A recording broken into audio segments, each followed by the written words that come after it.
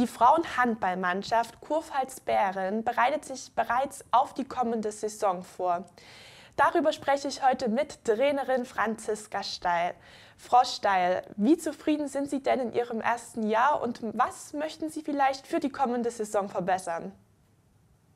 Ja, hallo erstmal, schönen guten Tag. Ähm, ja, ich glaube, wir haben eine, eine sehr wellenhafte äh, Saison hingelegt äh, mit, mit tollen Spielen, aber dann auch mit vielen Ausrutschern. Äh, für mich auch eine ganz neue Erfahrung persönlich im ersten Jahr auf dem Niveau eine Mannschaft zu trainieren. Ähm, grundsätzlich äh, bin ich äh, total zufrieden. Ja, mir macht die Aufgabe Spaß. Ich bin sehr, sehr gerne Trainer ähm, und habe auch eine, eine, tolle Mannschaft. Und äh, bin jetzt, ähm, ja, wir sind froh, wenn die Saison jetzt auch bald rum ist nach fünf Wochen. Es war eine sehr, harte Saison mit vielen Verletzungen, vielen Corona-Kranken, immer wieder einer anderen Mannschaft, die ich aufstellen musste. Und wir stehen nächstes Jahr vor einem Umbruch, weil wir ähm, einfach acht Abgänge haben und werden nächstes Jahr sehr jung und dynamisch sein.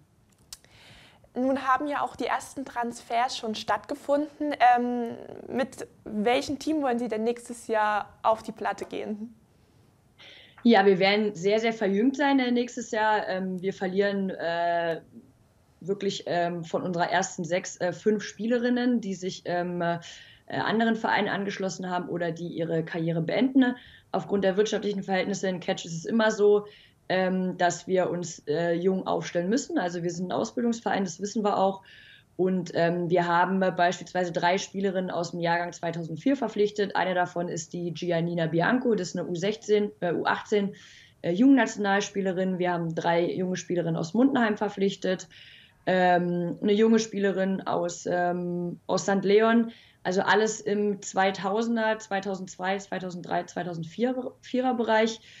Äh, die Nele Wenzel von der HSG Bromberg-Lippe konnten wir verpflichten aus der ersten Liga. Ähm, das ist ein Transfer, der uns natürlich auch ein Stück weit äh, in der Qualität weiterhilft.